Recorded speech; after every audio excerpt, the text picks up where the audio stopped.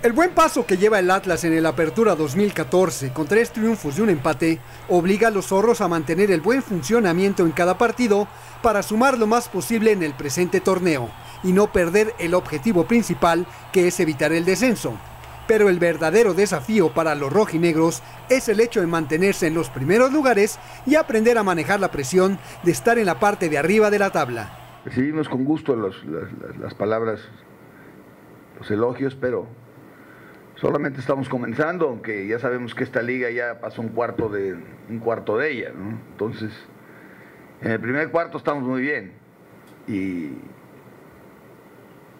pero los objetivos eh, ahí los vamos, los vamos llevando. Ahora estamos a punto de alcanzar otro equipo en, la zona del, del, descenso.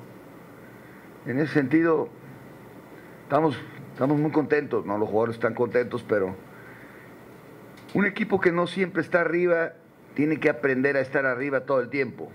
Y ese es el verdadero desafío. Porque a final de cuentas, lo que importa es no caer en el conformismo.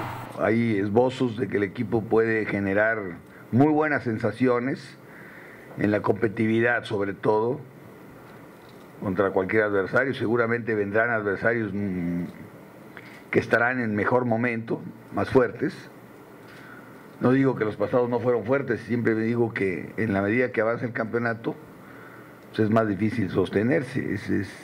entonces, hay que mantenerse tranquilos eh, y no conformarse. Ya lo dije hace un momento, hay que acostumbrarse a estar arriba, porque luego equipos que, que no están acostumbrados a estar arriba, cuando están arriba se conforman y esa parte no, no, no, no nos iría bien.